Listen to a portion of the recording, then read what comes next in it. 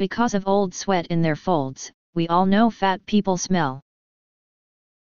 But how would you get one in the shower?